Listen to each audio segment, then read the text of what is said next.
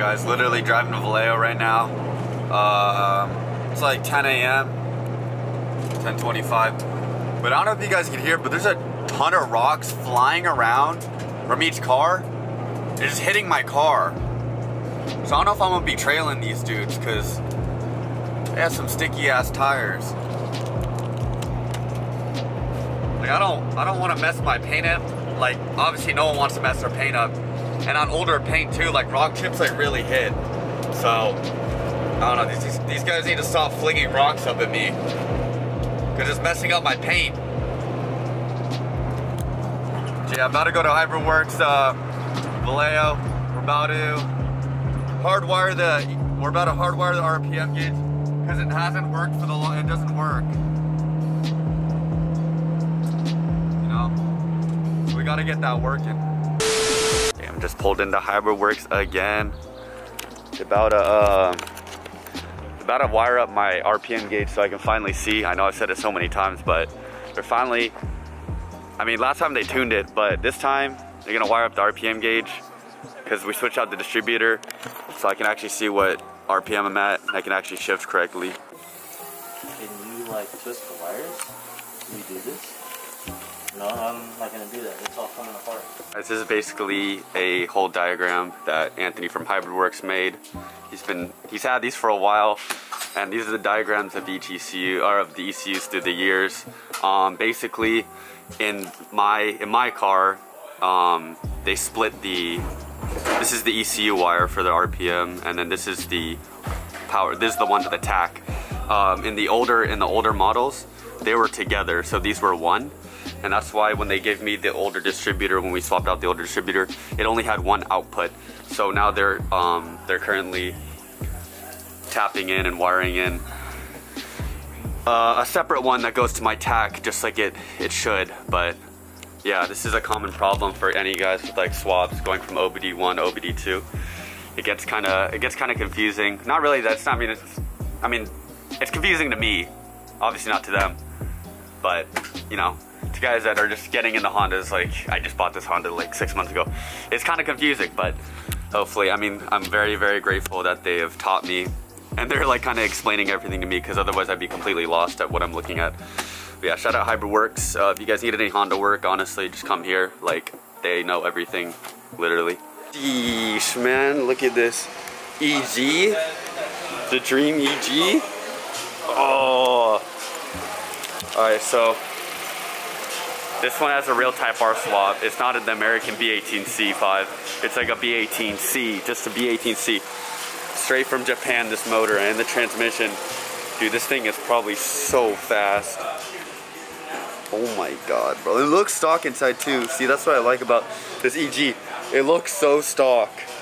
But then you look in here, probably cracks over 200 wheel horsepower. This thing is, oh my god. All right guys, just finished up here at HybridWorks. Uh, gave me a pretty good price. Like I said, once again, shout out HybridWorks. But yeah, finally, this is the one thing I've been waiting for, man. Oh my god, if I haven't seen that RPM gauge go up in a while, but yeah, I better test out some pulls on the highway. Uh, allegedly in Mexico. Test out the RPM gauge. I gotta see if it works, you know, I gotta make sure the RPM gauge works. Alright guys, back in the Integra, you see the RPM gauge works. Well, actually, we don't know if it works yet, so I'm gonna test it out real quick.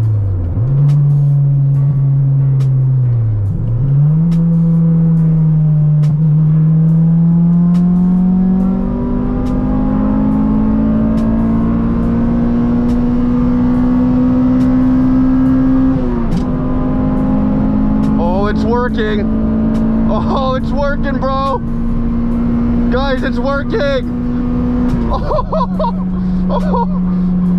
uh, yeah, so uh, I can confirm the the RPM gauge is working. A few moments later. Alright guys, update. Uh, uh, I'm just throwing a huge check engine light right now. My car just died. I was literally just stranded on the side of the highway. It was not cranking at all. I'm good now though, but oh my God, man. This thing has a check engine light. I don't know what it is. I have no idea. I'm so scared. It could just die again at any moment. But I was legit stranded for like 20 minutes, man. I just came back from Hybridworks. We're good. Uh, Anthony, the owner here at Hybridworks, rewired the, so the VTEC solenoid was bad. Or sorry, the wiring to the VTEC solenoid to the engine harness was bad. It was hanging on by one strand of wire. He cut it and then resoldered it to make a full connection. Oh my god, man. Those pulls before that you guys saw on the highway, that was with no VTEC. I like I thought it was slow because it was uphill. But no, that was, that was no VTEC was engaging. My VTEC was not engaging those videos. I will show you guys pulls on me on the highway. I'm about to show you guys pulls on the highway with VTEC engaging. So about to crank this, man. Yes, sir. All right, guys. Uh, we back in the Integra. We got VTEC working again, so you know we're gonna do a little pull right now. See if it works. I need to see if it works.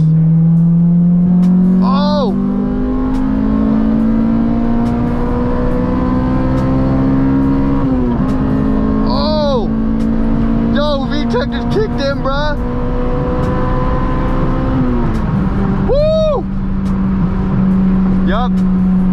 Yeah, yeah, yeah. Oh, yeah. Yeah. Well, we got to work it again. Shit, this feels good, and I can see what RPM I'm in, too. Oh, I cannot wait to run Griffin again. I'm gonna give Griffin a run for his money, man. And the ND, now that I can see what RPM I'm at, I think I have a chance now. Cause before, when I when I raced Griffin, I was shifting premature. I think I was shifting prematurely. I don't know because my our, my tach didn't work. But now that my tach works, I can kind of see like shit. Hold on, let me let me test out the RPM gauge one more time, guys. Hold on.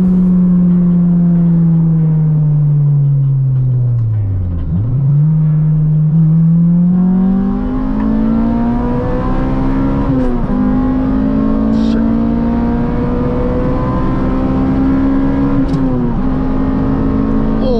Hit red line there. Damn. Alright, so my red line's at 83. I thought it was at 85. That was my bad. Hmm, yeah. Definitely not good that I hit that. Well, you know, I, eh, it's a Honda. But man, yeah, this thing, this thing pulls through the gears. I, I feel like I could bump the red line up to 9,000. He said I could, but the Anthony from Hybridworks said I can bump it up if I go, if I go with uh, bigger cams. If I get bigger cams and get a bigger intake manifold and throttle I could probably make like 200 wheel and have a higher red line. So, but yeah, I don't know. Like I said, we'll we'll see. All right, guys. After a long journey, I finally made it back from Vallejo. I'm so tired, man. Uh, that's probably gonna wrap up the video. I don't know how long it's gonna be, but you know, I mean, I had to drive back to uh, Hybrid Works to fix the VTEC solenoid, and then also get out of limp mode. But now the car's finally running fine and everything, so we're all good. fast, wearing velvet. Can you take a four or five to the pelvis? Plenty money going around, I'm not selfish. And the ladies love me, Elvis. Smoking gas, living fast, wearing velvet.